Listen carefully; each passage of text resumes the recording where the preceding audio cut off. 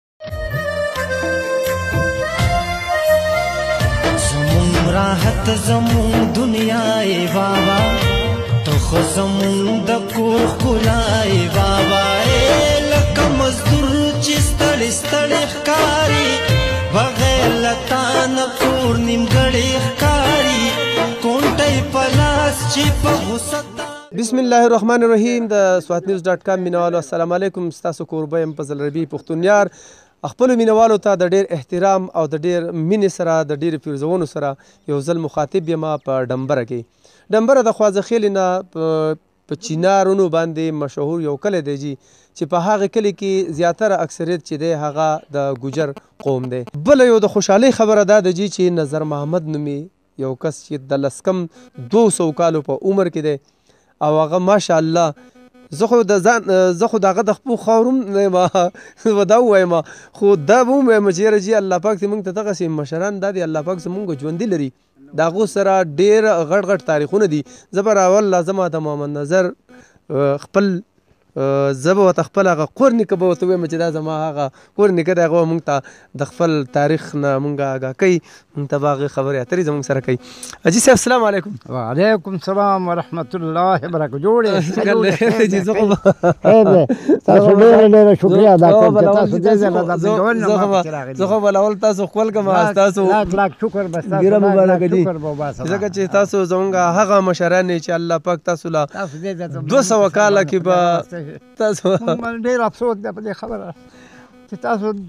نور نه خدای پاک دې ځل راوستي زه د خدای عجز یم د خاورو نه پیدا یم خاورې له بزم خاورې نه مور ده نه ته خو زمونږ نیکي جی زمونږ مشر الله تعالی ډیر اولاد درکړي جی مونږ ټول صاحب اولاد کې راځو مونږ ټول صاحب اولاد کې راځو تاسو په عمر کې خدای برکت وغورځي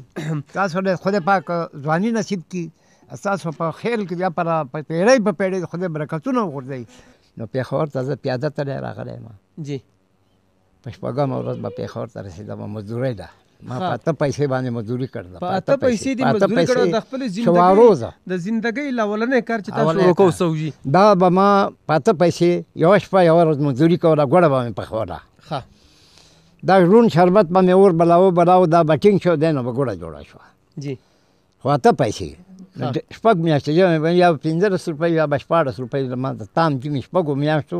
مزدوري وه جی دا مې راغسته بیا به پیاده راتلم ګوډې بورې به را سره وه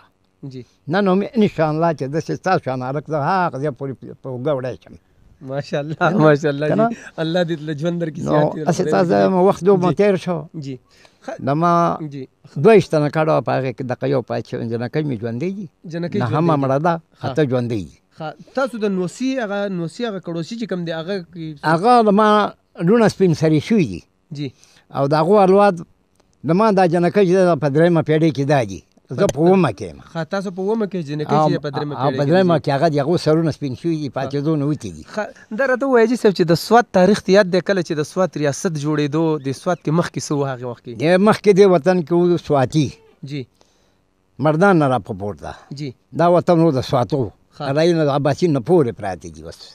دا وطن هغه نه په بې اتفاقۍ تل دی لس کم 200 کاله مخکې نه نه هم مخکې د دې نه مخکې تل دی جی دا نو موږ مشرانو بیا موږ ته تاریخ پرې خو دی جی دا نو موږ د یادو نه دی ګوره په دې ګناګاری کې جی جی صحیح ده جی د موږ مشرانو بیا وی چې د وطن و د سواتو جی مردان نه په پورته کالامه پورې جی جی دا چې چلو شو چې دیو باندې یو ښه سړی پیښ شو هغه اس راوشاړه نو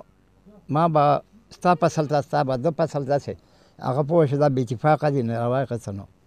کروړې ته ورسول جی کروړه کې هغه ځان شمار که کروړ خلک وو جی دا کروړه کروړې ته ځکه او ځکه ورته کروړ خلک وو دې ځان شمار که کروړ خلک وو جی نو دی وی چې موږ وطن لاړ موږ کروړ خلک واپس یو او ښه سړی او له مخې له بیا راغی وی چې وطن د نتر دی واپس لاړ نه شي ټول به تباه شي جی پورې لاړ شي مخکې لاړ شي جی مخکې لاړ عباسي نه پورې وته دا دندې ټاکوټ مایرا په دې کې پراته دي جی دا وطن د سواتو دا غو نه بیا څه چلو شي چې په دې وطن انګريزو جی هندوانو جی دا دغه دوه تنه محمود غزنی صاحب په اباسین نغل دی جی الله پیدا کړ د اسلام جنډه یو چتا کړ د تلويخ باډي ګاټو سره وګد غوګین ها بار راوخته د په غرونو د وطن کې بیا محمد بن قاسم الله پیدا کړ جی د وطن په مخه کړ د وطن د هندوانو نه د انګريزانو نه د وطن مزګار کړ جی د اسلام جنډه یو چتا کړی دا نه نه پوری د اسلام چلیږي پکې جی اوس نو را پدا خا جی دره ته وجی جی د بادشاہ صاحب حکومت ستاسو یاد دی جی بادشاہ صاحب چې وکړه حکومت بادشاہ صاحب حکومت د مان دیار لس کاله د ما پیدائش نه راسته راغل دی خا د ستاسو د پیدائش نه دیار لس کاله بعد راسته راغل دی د بادشاہ صاحب حکومت د والی صاحب د پلار د والی صاحب د پلار جی بیا د والی سواد په حکومت کې تاسو والي سواد په حکومت کې خدا سړکونه موږ په خپل رخ کړي په دې خپل څادرو کې بشګي وړي ولا ګټه به وړي نن به موږ برابر کو دا به برابر کتلو تا سار به بل افسر راغی به کته کو زاو سبا به بل راغی بره به کېجاو دا د کانامو پورې دا سړکونه شاغنې پورې دا سړکونه روم په دې لاسونه وتی دي د تاسو په کار کړی په خپل ډوړې بر سره ساړه نوړې داسې به وبو په غاړه کې نه څوکلې ته بغورځو نه وبو ګټ بکاو جی سر موږ ته تنخوا مخانه دا پلونه دا هر څه دا موږ د لاسونو وتی ادره ته وای جی بابا جی چې د دومره وخت کې واسي تاسو به یاد چې تاسو په قران شریف ختمونه سونه کړی نو قران شریف ختمونه خو په څو قسمه دي سبق مې نه دی ویلی جی خو دوه مده چې هغه خپل مناسب د خیر ختمونه وکړي دي جی او لکه مړي شوی د پاغو پسې ختمونه وکړي مونږ په خپل قران شریف نه دی وایي مونږ او داس خو دغه وخت نه په دې خو ټول کړی ان شاء الله چې مونږ او داس وسوم جی چې کله زه په خبر په شر نه مانځه نه دا لس کم 200 کال الله پاک دا مسلمان حق نه دی دا د مسلمان حق نه دی دا مانځه نه قداري غاڼې ډېر ښه کار دی غوړه چې ما په خوله خو دې کوم خپل مونږ نه پرې خو دی او په اولاد کې دی مرد شوکسته زلمی زامن یا زامن لمن پینځه خدای غسی دي جی یو زلمی مړ دی واده ولا شوی جی خو میاشت واده نه و پوره شوی چې ډنډ یو کو کته تاسو چې راغله په دې لارې کته چې ما دومات دی غي سره ها زه چې کاب کوم روجا و ولا سم ورځ و جی جی هغه یې سجونه مټ راو جی زه خو نه خبرولم بیا ما خام چې ځان مې وکړ اقامت مې وکړ مونږ شو دغه نو راسته دی او سات سات خبر کړم چې داسې واقعیت شوی دی مې الحمدلله شکر دی چې ما له بچي الله راکړی الله واغس په دې شکر دی لاک لاک شکر دی د دې ځګ د کلی زمونږ د ګجرو چې کم دي زمونږ په دې کې دنیا کې اکثریت ته د دې خلکو رویه سره څنګه ده جی د دې رویه دا چې هر سړی له مانزار قربان کیږي په کوم طرف چې زم کنه خور دا که زمونږ مور دا که زمونږ زما مزار قربان کیږي هر یو سړی ما قدر کوي خدای دې قدر وکي د دې خدای لوی له واړه دیندار کی ادا جمعات د خدای د دیو نه دا د الله پاک د دین مرکز وګرځي او د دې په لوی وړو کې د خدای برکتونه وګرځي او دیو د خدای پاک البادي وړمخې کی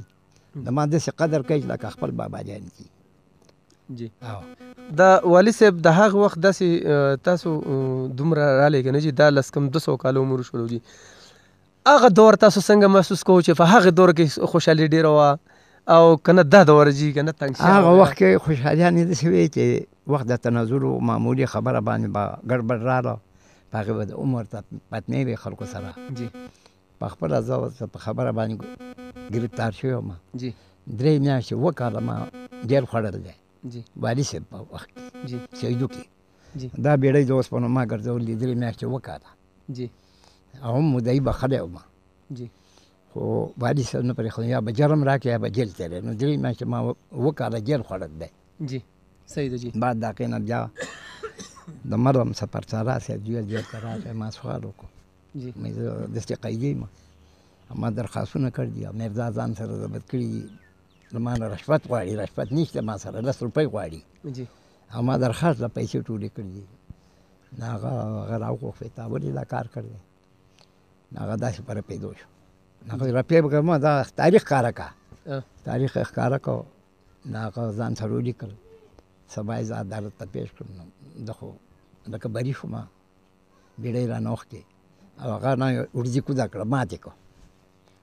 والي صاحب مات کو چې تا په د سره ظلم کړ دی نو وخت داسې تیر شوی دی دا وخت د خوشحالۍ دی خو دومره ده چې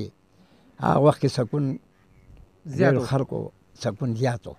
داسې ګډوډ نه و لکه نن سبا وطن په ماحول په دې باندې وران شوی دی چې دا د انګریز دا پیلونه ډېر دا موبې دی یا داسې نورګانې بجانې دا شی له ما نه دی خوښ جی ما د دې نه انکار هغه وخت کې دا نو جوړ نه نه نه دا نو ټي وي دا نو ټي وي نه چې څوک دا چیزونه چانه پیژاندو یو هغه ریکارډي باجر راغلی و کین کوړای تا جی جی ریکارډ کوم دا ککوړه کوم دا به خو دا غبا سندري وي ټول خلک برا غونډې په دې کوټو به تناستو دی راکې او شی به غواز باورې خو خلک نه بلد او زه خو په خپل دین نه ما انکار دی او خلک یې اوري څوک جیب کې ګرځي دا ترخونه کې دا چیزونه پراته دي نو له ما دې سر نه لیکي حاجی دا راته وایي چې زمونږ مسافر وروڼه به هم تا ګوري په دنیا نور نړیوال هم دا راته وایي چې که تا له اوس د حج یا عمرې نو تاسو تللی شئ انشاءالله الله به مې بیایي الله به مې بیایي خا حج یو کړم دی ان شاء الله چې بیا هم الله پاک ستې جی زمونږ هو کې نو کزال ته پدا راکې حق رسم کنه نو د ما به دغه مقرز بلاک لاک شکر باسم چې ما باندې په دې وخت کې الله پاک حج کوي زه به شکر دوه باسم زما ډیر ورونه دي تاسو دي چې زما ډیر غیرتمن تاسو په کوجر قوم کې داسې غیرتمن ورونه زما هلته کې په سعودي په اخبارو باندې په مختلفو حصو کې په اسټرالیا په تاسو په چرته هم الله نه خرابې جی مونږ ستا کړو سیو جستان نو سیو ستا اولاد یو ان شاء الله چې تاسو په زمونږ الله چرته هم نه خپکې جی او